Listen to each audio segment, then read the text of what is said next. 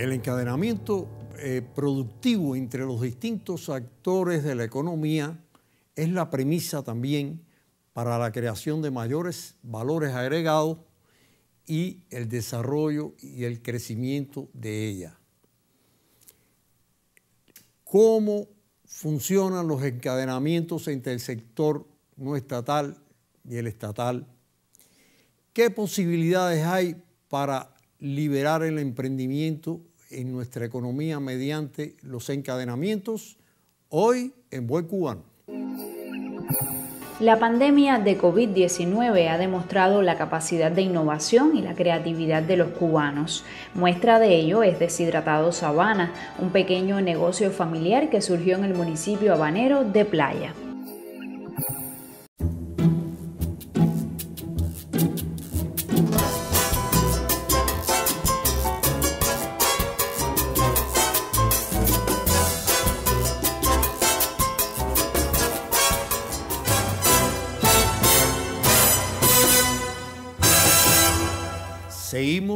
Cubano.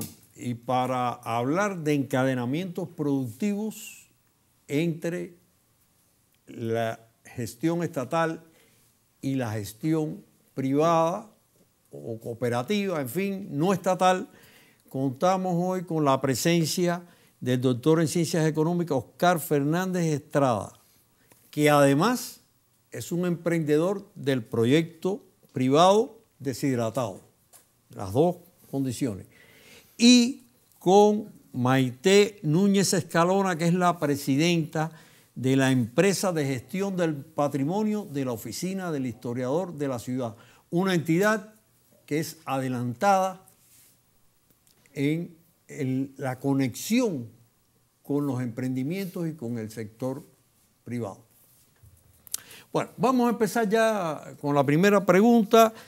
Eh, con los cambios, con la diversificación de actores económicos que tiene Cuba, eh, digamos que impensable años atrás, en materia, ¿qué trascendencia tiene el encadenamiento productivo que atraviesa todo el sistema de gestión cubano para ¿Qué potencialidades dormidas podría ir despertando en la economía cubana? Esta pregunta, sobre todo, Oscarito, me gustaría que la vieras no solo desde tu, binaria visión de, emprendedor y de académico.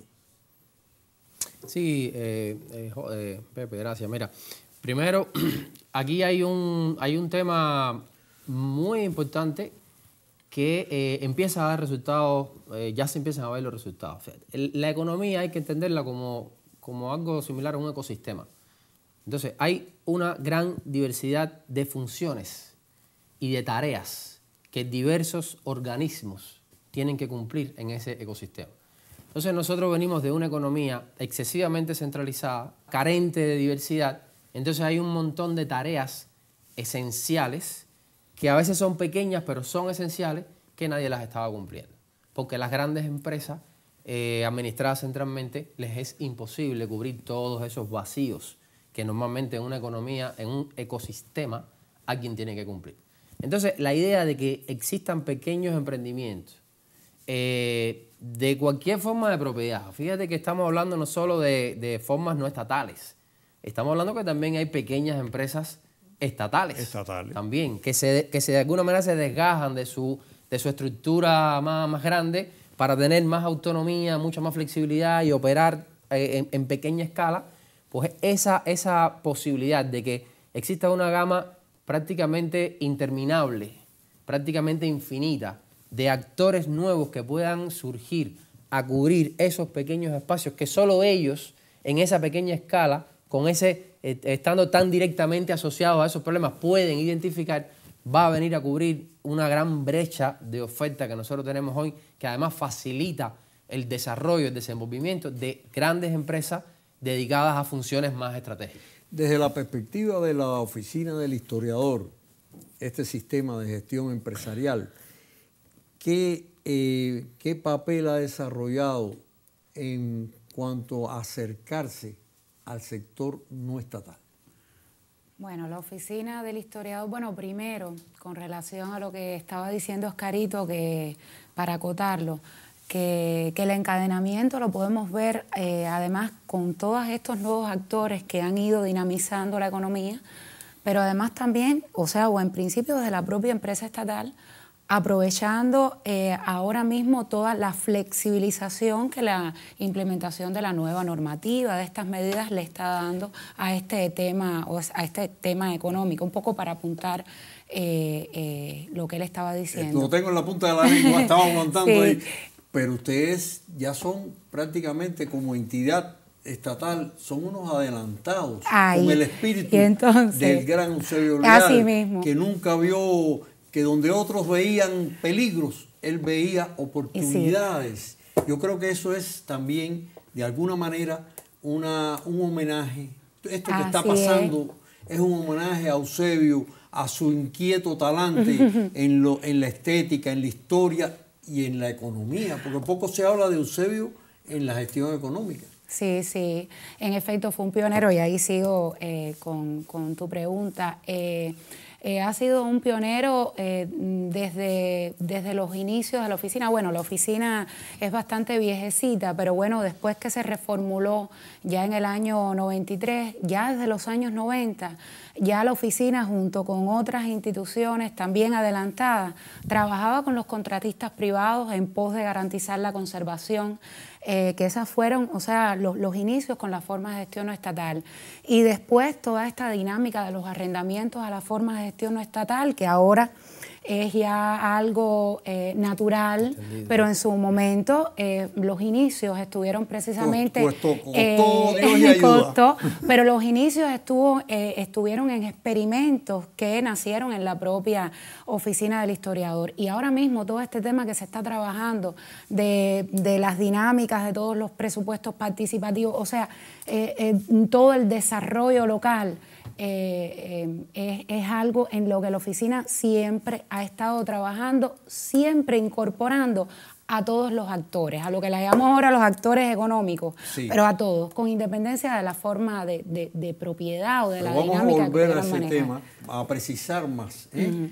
Recuerde que estamos en Buen Cubano, un programa de reflexión, de análisis, un programa que no se cree que va a decir la verdad absoluta, un programa que no pretende abarcar un tema, eh, digamos, en toda su, su dimensión, es solamente un susurro reflexivo.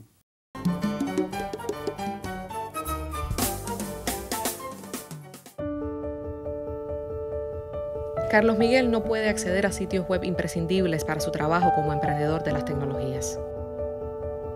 Leudis, ciego de nacimiento, no tiene dispositivos médicos parlantes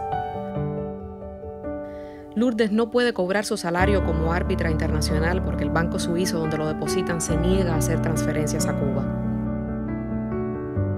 El ron y el tabaco cubano siguen sin comercializarse en el mercado norteamericano. Nuestros científicos se reinventan todos los días para que nuestros candidatos vacunales avancen a pesar de la ausencia de reactivos o equipos clave.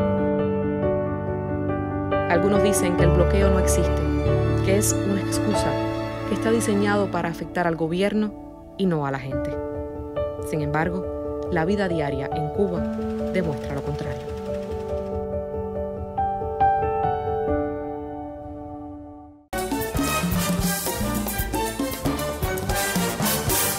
Seguimos en Buen Cubano. Eh, el encadenamiento eh, no es homogéneo, no es eh, abarcador, es gradual se están produciendo encadenamientos en la medida en que se están creando nuevas, medianas, micro y pequeñas empresas eh, privadas y estatales y además cooperativas.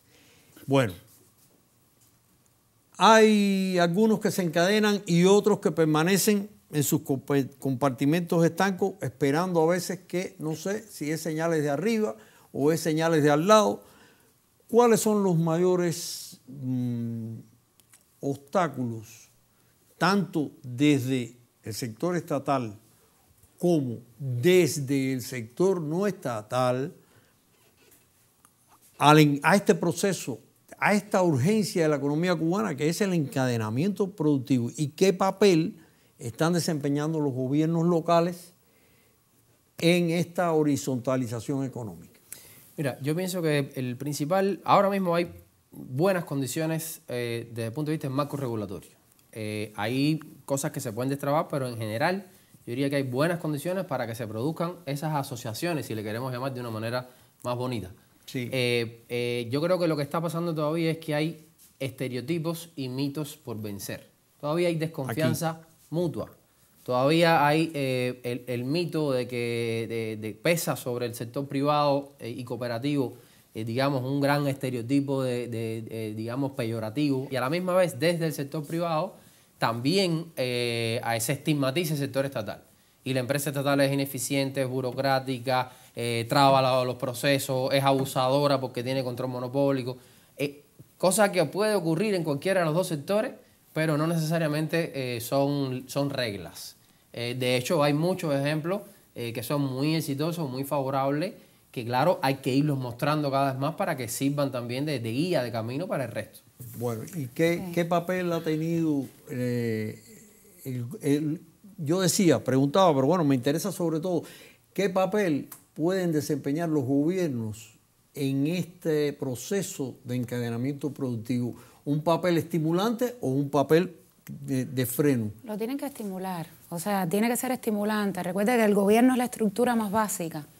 Eh, o sea, los gobiernos locales, el municipio, el municipio. allí, la oficina de historiador, con, el con gobierno, el gobierno. Vieja? Sí, hemos trabajado sobre todo con el desarrollo, o sea, con todo esto de la estrategia del desarrollo local, que además uno de los principios de la política del desarrollo local es precisamente eh, que el gobierno, o sea, que la estructura municipal eh, favorezca los encadenamientos productivos a propósito de la temática del programa y tiene que potencializarlo a partir de esa estrategia que se haya elaborado. En el caso de la oficina, nosotros hemos trabajado eh, la oficina como está enclavado dentro del propio municipio de La Habana Vieja, aunque la oficina tiene alcance también en, en Centro Habana, hemos trabajado de conjunto en la estrategia de los proyectos de desarrollo local por ejemplo, que eso no, eh, además no, no comprende solamente el proyecto de desarrollo local como entidad, sino todas las entidades, todos los actores con independencia de su forma de propiedad, que tributen al desarrollo y a la dinámica de la, de la estrategia del desarrollo local. Potenciarlo. un, agregado. En lo que estamos viendo en La Habana, por ejemplo, que es donde tengo más conocimiento, es que hay gobiernos municipales más avanzados, gobiernos municipales más dispuestos que eh, han hecho, se han ocupado de hacer incluso eventos, eh, buscando espacios para poner de acuerdo a todos los actores de su territorio, que se vean las caras, mientras hay otros gobiernos entonces más rezagados, más temerosos, que ahí entonces cuesta más trabajo hacer las cosas, cuesta más trabajo que, la gente, eh, digamos, que los proyectos o las propuestas de proyecto avancen. Entonces, hasta en este momento pesa mucho también, eh, eh, digamos, las personas que están en esos El eterno problema de la subjetividad en los procesos sociales y económicos. Sí, sí. Bueno, vamos a ver ahora un reportaje sobre el encadenamiento productivo entre la empresa privada Deshidratados, Deshidratados Habana, Deshidratados Habana y la oficina del historiador. Y eso va a reforzar más el hecho de la presencia de estas dos personas aquí.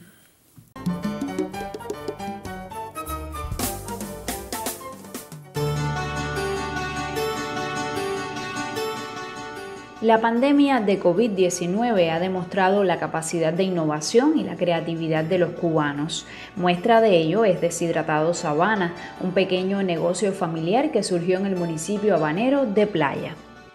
Bueno, hace alrededor de un año y medio, eh, en medio de la, situación más crítica de la, COVID, eh, cada uno de nosotros, mi hermano y yo, vimos modificado nuestra base económica como resultado de la pandemia y nos dimos a la, tarea de, bueno, de, esas necesidades que teníamos, deberíamos encontrar algún camino para, para resolverlas.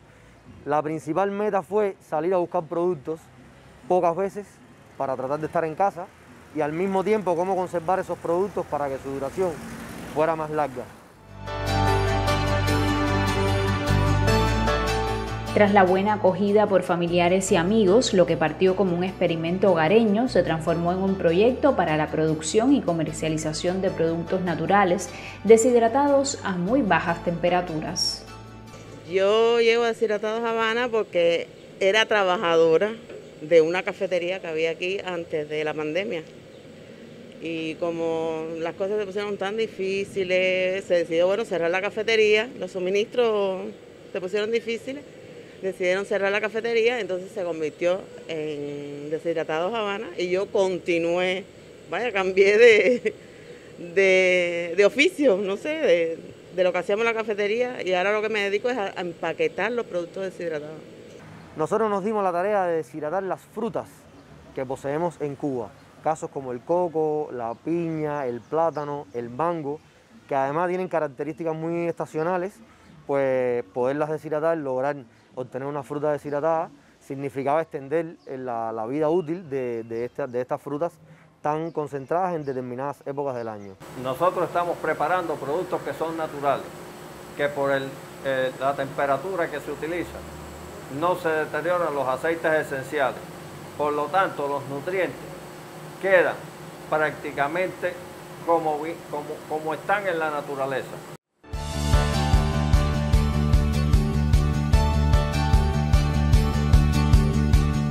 El emprendimiento ahora se encuentra en expansión gracias a las alianzas comerciales con el sector estatal y particular.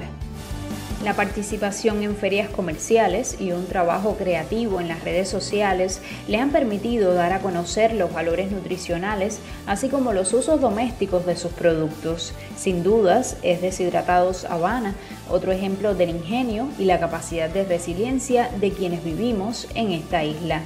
Ángel Giral Torres para En Buen Cubano.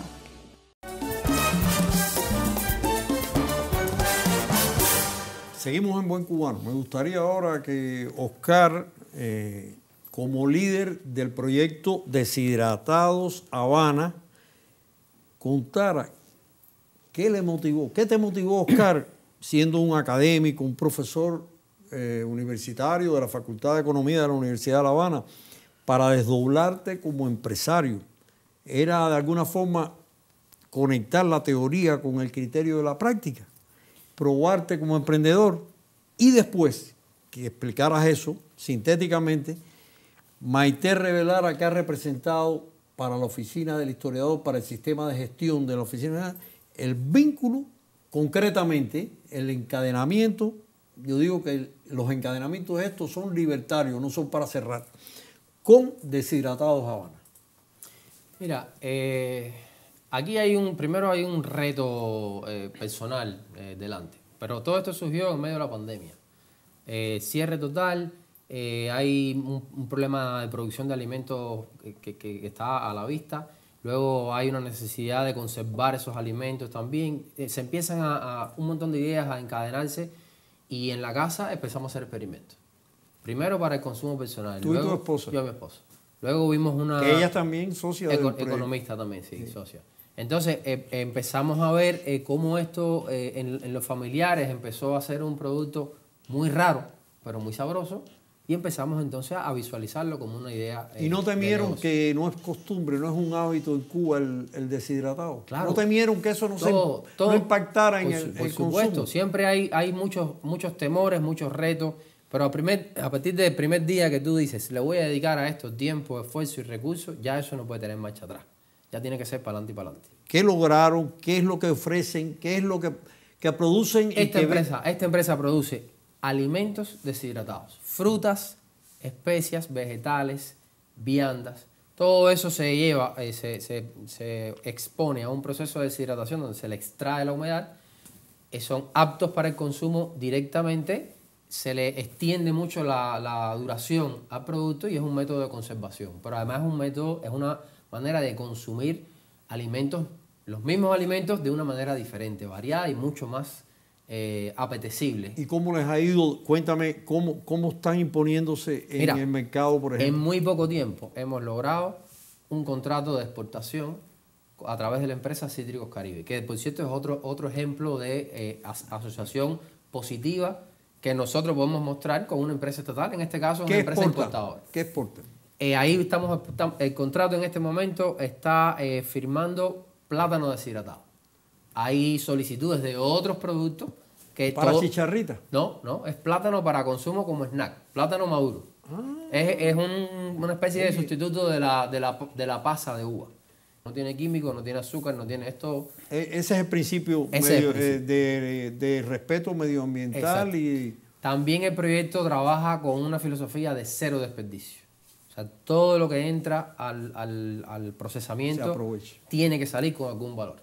Eh, claro que no se logra todavía completamente, pero esa es la filosofía. Las cáscaras se reutilizan, las cáscaras de la piña se hacen unos, unos polvos para infusiones, de las cáscaras de limón se hacen unos polvos espectaculares para, para, para, para múltiples usos, para eh, aliños, para... Y dime qué tipo de clientes tienen ahora, qué, qué gente ha despertado esa, más- esa zona del paladar. Lo más ese- variado, lo más variado. Desde personas muy preocupados por su dieta y por comer sano, eh, hasta pues niños o padres que compran para sus niños, los celíacos que tienen Los problemas. celíacos. Hay una Exacto, gama también de es una que gama de productos. Muy buenos porque eh, eh, sustituye, digamos, ofertas Sí, que no hay. Ofertas que no hay no estatalmente. Estatalmente ni privadamente. Ni o sea, privadamente. esto empieza.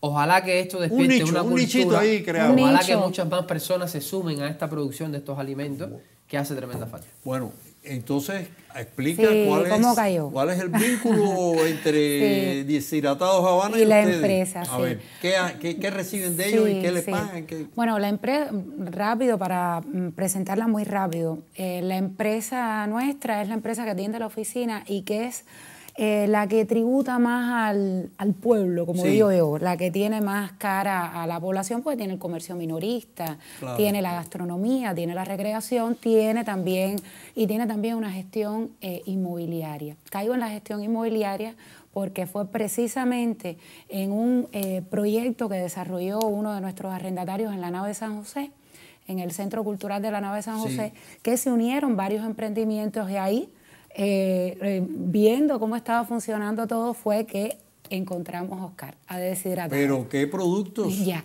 No Y entonces, ahora voy a deshidratado. Algo que tiene que ver con chocolate. Ahora voy a, no, ahora caigo en deshidratado.